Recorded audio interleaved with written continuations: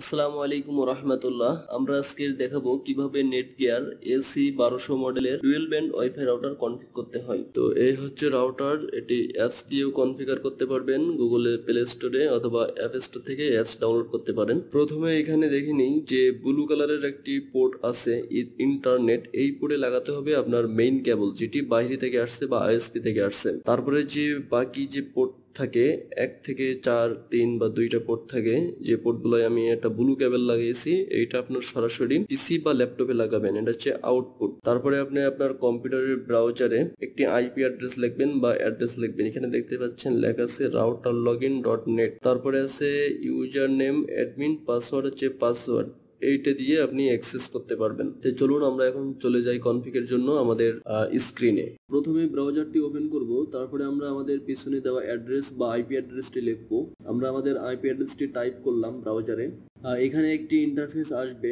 অনেক সময় দেখবেন যে নেট গিয়ার রাউটার বর্তমানে কনফিগ করতে হলে মানে আপডেটগুলো বা আপডেট করার পর কনফিগ করতে হলে এই মেসেজটা আসে। এখানে হচ্ছে আপনার পাসওয়ার্ডটি চেঞ্জ করতে চাই।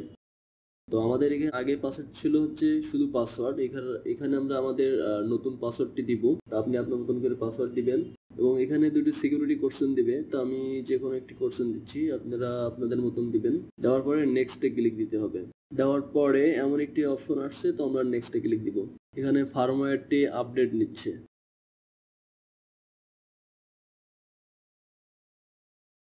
এখানে এএসএ ক্লিক দিব। তাহলে ফার্মওয়্যারটি আপডেট হয়ে যাবে। আর এসে ক্লিক দেওয়ার সময় অবশ্যই আপনাদের নেট কানেকশন মেন লাইনটি লাগাই নিতে হবে। আমি যেভাবে দেখে, দেখিয়েছি পূর্বে, যে মেন কেবলটি লাগাবেন নির্দিষ্ট একটা সিঙ্গেল এক কালারের ব্লু কালারের পোর্ট আর বাকি আউটপুট থেকে আপনি একটি কেবল দিয়ে ল্যাপটপ বা ডেস্কটপে কানেক্ট করবেন কনফিগারের জন্য। তো এখানে আমাদের আপডেট কমপ্লিট এখন এখানে লেখা আছে enable router to automatically update future firmware তো অবশ্যই আমরা আই আই অ্যাগ্রি দিব। তাহলে পরবর্তীতে আপডেট নিয়ে নেবে নিজে নিজে। তো আমাদের এরকম একটি ইন্টারফেস আসবে। তারপরে এখান থেকে আমরা যাব সেট আপ সেট আপে যাওয়ার পরে internet set up internet set আপে যাওয়ার পরে একটু সময় নিচ্ছে। তো আমাদের এমন একটি ইন্টারফেস আসবে। তারপরে আমরা যাব ইন্টারনেট অপশন ইন্টারনেট অপশনে যাওয়ার পরে এখানে আমরা ইয়েস এ ক্লিক করব।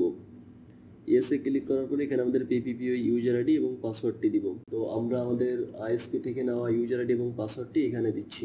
ইউজার আইডি পাসওয়ার্ড দেওয়ার পরে এখানে অ্যাপ্লাইতে ক্লিক দিতে হবে। অ্যাপ্লাইতে ক্লিক দেওয়ার পরে এখানে একটু সময় নেবে প্রসেসিং হতে। আমাদের পিপিপিউই কনফিগ করা কমপ্লিট এখন আমরা ওয়ারলেস সেট আপ করব। এই জন্য ওয়ারলেসে ক্লিক দিতে হবে। এখানে আমরা আমাদের ওয়াইফাই নাম দিব। তো আমি আমাদের এখানে যে কোনো একটি নাম দিচ্ছি, আপনারা আপনাদের পছন্দ মতন এখানে নাম দিবেন। এখানে দেখতে পাচ্ছেন যে ডুয়েল ব্যান্ডের রাউটার হওয়ার কারণে এখানে দুইটা নাম শো করতেছে। তো এখানে আমরা আমাদের ওয়াইফাই নামটি সেট করব। এখানে আমরা প্রথমে ওয়াইফাইটি নাম দিচ্ছি যেমন টু জি আর সেম নামটি আমরা ইসে দিব ফাইভ জিতে এখানে দিচ্ছি ফাইভ জি এখানেও তিনশো এমবিপিএস দেওয়া আছে সর্বোচ্চ।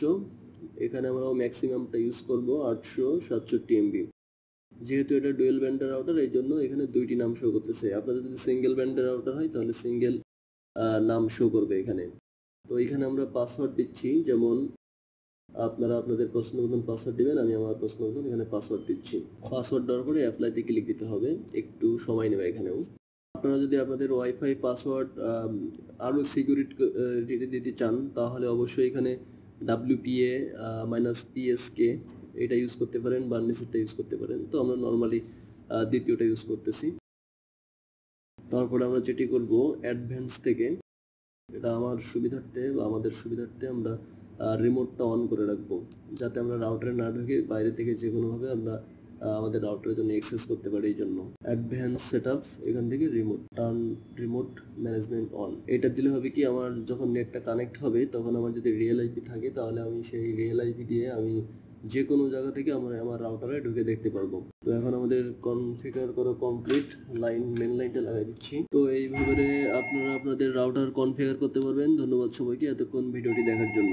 আর আমাদের চ্যানেলটি সাবস্ক্রাইব করে রাখবেন। আরও নিত্য নতুন রাউটার কনফিগ সহ অন্যান্য ভিডিও পাওয়ার জন্য।